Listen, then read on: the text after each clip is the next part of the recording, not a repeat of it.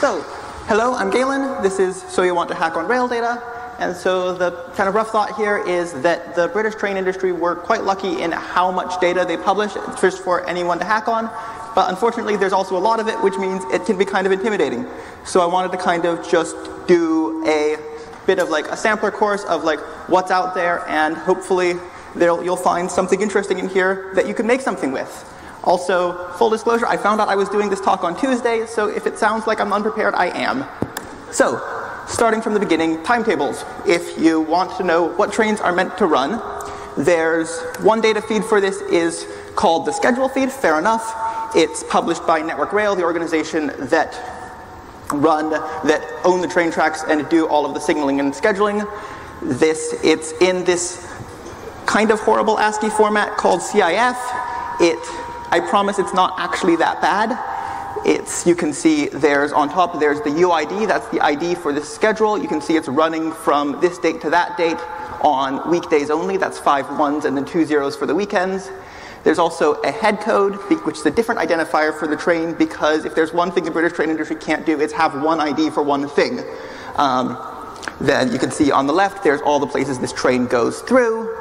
There's these times, which are the working times, those are the internal times for within the train industry, and then the public times, which are the times they publish. Usually they match, sometimes they're a few minutes off. And then you can see some of these have two times, that's the ones that stop there and then leave, and then leave a few minutes later. There's also places that the train just passes through without stopping, those have a pass time instead. Um, there is also a JSON version of this feed that is potentially slightly nicer to deal with. Unfortunately, JSON is impossible to fit on a slide, so you're getting this instead. But yeah, there's a JSON version. If you want to use that, it works just as well. Um, other thing about this is it's in this layered structure, so to handle things like engineering works or Christmas where they're not running the normal trains, you have the main schedule, which is marked with a P over there at the end for permanent, and then you have one or more overlays which have the same ID and then but then slightly different details which then oh, which then replace that on a different set of date, a more limited set of dates. And then there's also the C for cancellation, which just means the train's not running that day. This isn't necessarily a cancellation in the traditional you show up on the day and the train's not running. It's this train normally runs on this day but was never meant to run on this particular day. So that's the kind of what's called the long the long-term plan and the short-term plan for those like temporary overrides. There's also what's called the very short-term plan, which is when they decide, like the day of, that they're running an extra train. There's a separate data feed for this, which is just a stream of JSON messages. It's only available in JSON, so and it's not the same JSON as the one before. So enjoy parsing that if you're curious about. Very if you're curious about every single train. If you just want a rough idea, the other feed is probably fine. There's also a different timetable published by National Rail, or the Rail Delivery Group, who call themselves National Rail, the association of all the passenger train companies, which is roughly the same format, but it only has passenger trains, no freight trains, and it also has some extra stuff. For instance, they've added in some buses that show up in the train timetable you can use train tickets on. There's also some various other information in here, like what's called fixed links, where if there's two stations that you're allowed to walk between as part of a train journey, like across Glasgow or taking the tube across London, that's there's the data for all of the places you're allowed to do that. There's also data on how long you have to connect at how long you have to leave for a connection at a given station. At big stations, you have to wait longer for connections than, than small stations. So if you're wanting to kind of like build, if you're wanting to kind of look at possible passenger journeys, this is the data you'd want to be using. So that's timetables. Moving on, by the way, there will be a link with links for all of these at the end. Moving on to train status. So it's all well and good knowing what trains are meant to be running. What are the trains actually doing? The, again, I'm going to start with the data Network Rail puts out. They put out this, they have a system called Trust, which is what they use to determine what trains ran. Mostly it's used for after the fact, looking at, okay, this train's been delayed, why? And so it's not really designed to be used in real time, which means you might have trains that pass a point, but you only hear that they passed the point later when a person goes and puts it in. So you can use it for real-time data. It's not great. But yeah, it's this, it gives you, the open data gives you this stream of JSON messages. You get this on the left, which is activating a train. So when a train's about to leave, you get um, you get the train's UID from before and its trust train ID because like I said, we cannot have one set of IDs, that'd be too easy. And then on the right, that's also labeled train activation. Oops, but that's a train actually moving. You can see it's giving you the train ID and it's told, telling you it's left a location with this ID. Again, new kind of station ID because that's how we roll. And I don't actually talk about it, but there is a database called Corpus that just gives you all of the different IDs for locations. So it's annoying, but not actually that bad. But, so like I said, trust helps, but it's not always on, but it's not always real time, and it's sometimes won't give you information at all because only it'll only include certain principal stations. It won't include every stop it passes. If you want more detail, there's what's called the train describers, which are um, this comes from something in a signaling center, which the signalers use to keep track of what trains are where, and we have data for where we have data coming out of I think most or all of the train describers in the country that lets us create things like this. This is something. This is a website called Open Train Times, built by Pogs, who is somewhere around at EMF. Um, and is showing the data from this feed. You can see kind of the trains by head code in where, in this is Edinburgh Waverley Station. You can see where every single train is. And this is also available as a JSON feed. You get these very straightforward messages saying a train with this head code has moved from this location to this location. Unfortunately, those location numbers are inscrutable and poorly documented. My understanding is that the community has a pretty good, has done a pretty good job of reverse engineering this, but it is definitely not straightforward, unfortunately. Also, I say that it has head codes. It in fact has any four characters, and so sometimes signalers will do things like type in very wet use boat instead of anything useful because the line's closed anyway, may as well have fun. But so, and so you can use the train describers and trust to get a pretty good picture of where every train is on the network, but that's a lot of work and you probably don't want to do that. If you just want passenger trains, there's a simpler approach. There's a thing called Darwin, which is the system that belongs to National Rail, or the Rail Delivery Group, who, which provides the passenger facing information. So this is the information that shows up in every train company's app on the departure boards. It's the standard passenger facing information for the whole country. And it gives you this feed of XML messages that tells you like, so this is what's called a schedule message, so it's introducing a new train or updating the schedule for a train if something happened. For instance, this is an update because all the stops after a given point have been canceled for reason 555, which is unexploded bomb near the railway. This is a train that I was on trying to get here. Um, so you have these schedule messages, which are so you have these, these schedule messages for the schedules themselves, but then for the actual running data, there's what's called a train status message, which gives you, which tells you just it's specifically for a few locations what the current estimated time is and I don't think there's any this example, but if a train, when a train actually does a thing, you'll get a status message with the actual time that it happened.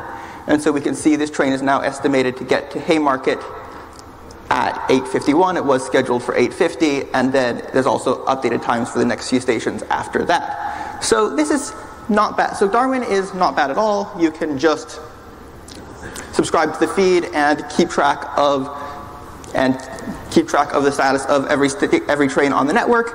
It is a lot of work if you don't want to do that, if you don't want to know where every train in the country is at a given time. In that case, there's something called the Darwin Live Departure Board web service. It is a very nice, straightforward SOAP API. SOAP, which, if you've not dealt with SOAP, good for you, but it's this kind of old 2000s REST precursor. It's a little scary, but it's really not bad. You post XML to an HTTP endpoint, and you ask it, for instance, get me the next departures from Ledbury in the next 120 minutes. Oh yes, there's another type of way of identifying a station because we cannot be consistent, and it comes back with a list of trains. So if you're just wanting to see like get the status of a particular train or get the trains leaving from one station, this can be a very quick, straightforward way to do it. I've used this, it's great. The one annoying thing about it is that the sign up form is currently broken. So if you want to sign up for this, or at least the useful version of it, you have to send an email and hear back in a few business weeks about with an API key. It works, but it's annoying. There's also a third-party proxy that mostly works and also gives you JSON. I, that's called Huxley, and I mention it in the link at the end. That can be a very straightforward way if you just want train status. So there's there's uh, there's the timetables, there's train status. That's kind of the two big things. Let's move on to some more fun esoteric things, like, or uh, infrastructure is not esoteric, but there's less, there's definitely been a lot less stuff done here. Um, so this is kind of looking at data about like not necessarily what trains are running, but what train network exists, what trains could you theoretically run. There's a very cool data set that they released called Bplan. That's the train net. That's the like what they use for planning train timetables. So it tells you it's got a list of all the locations on the network. It's got a list of which locations are connected to each other. So you can see there's Ledbury is connected to the next station over called Colwall and that they are, what, six kilometers apart from each other. And then it also has the timings for every type of train between those two stops. So this is a five car and a nine car class 802, the trains Great Western Railway uses.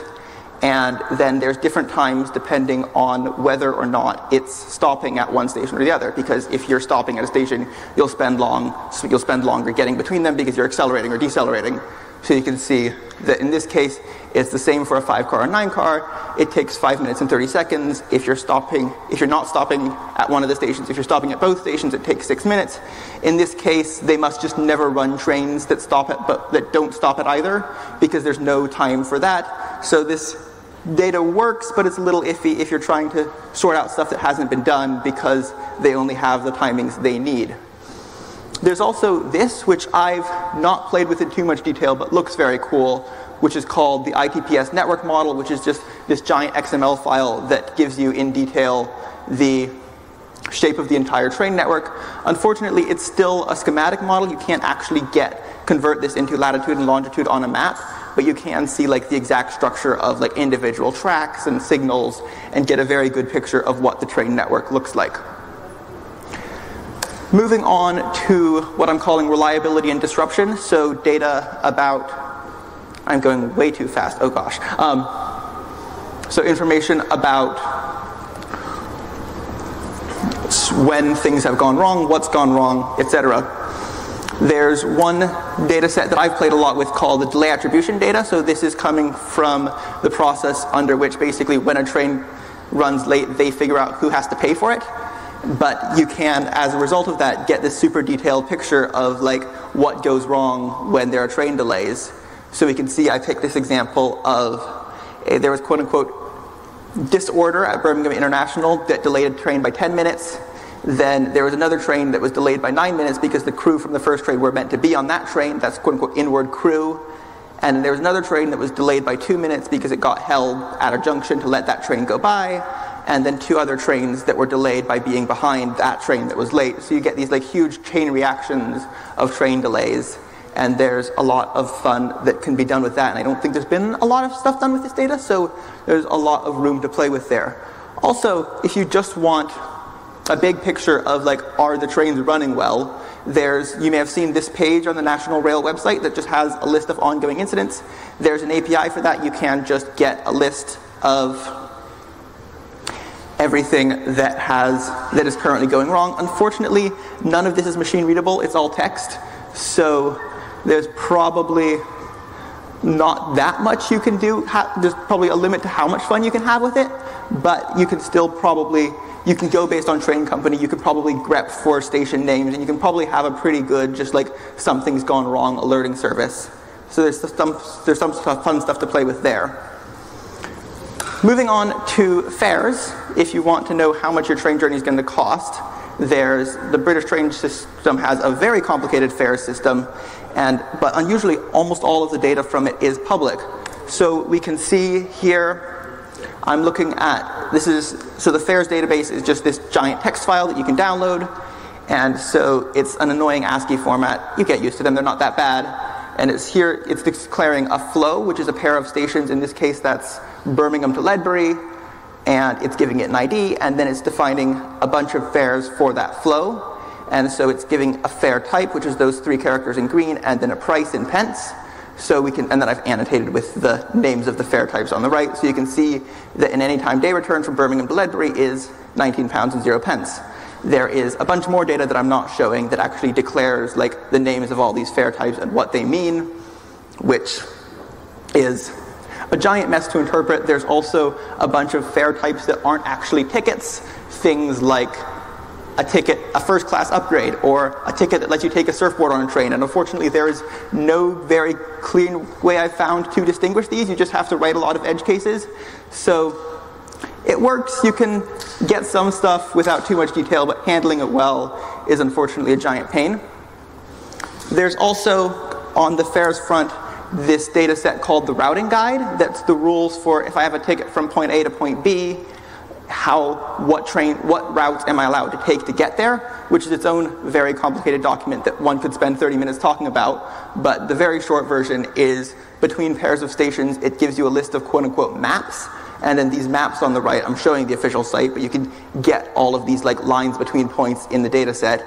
It shows you like what lines you're allowed to follow on this given map, and then you just put the maps together to get the route between two stations. And so if you know what this means, it's potentially very interesting. If not, you could learn what it means and potentially find it interesting, but it is a fairly niche thing, but interesting in its own right. Moving on to one last thing, train usage. So if you're curious how many passengers are on trains, they've very recently released this data set called the Origin Destination Matrix, which shows the number of passengers between any two stations on the network. So last year, between Ledbury and Hereford, there were 37,000 passengers, all the way down to one passenger who went from Ledbury to Gleneagles in the Highlands of Scotland. Um, I think this would have been an EMF year, so I suspect a lot of these weird trips are EMF. Um, and so this data is a little bit inaccurate because it's based on ticket data, and often you can't exactly look at a ticket and figure out what journey someone would have made. For instance, if you have a ticket from Ledbury to Birmingham, it'll be good to any of the three stations in Birmingham.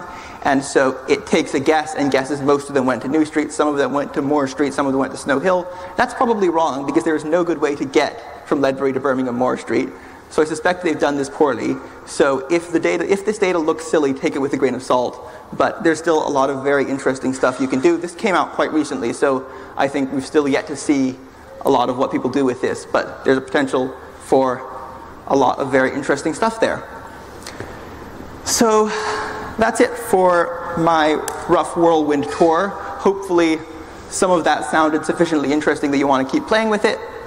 If so, I have this page that I've made with links to all the data sets I was talking about. Also, extremely good resources from the community. There's the Open Rail Data Wiki and the Open Rail Data Google group. There's an extremely good community that can and will help you if you have any questions. They've helped me a lot, and I imagine they will help you a lot too. It's a really great community, and there's a lot of fun to be had. So, thank you.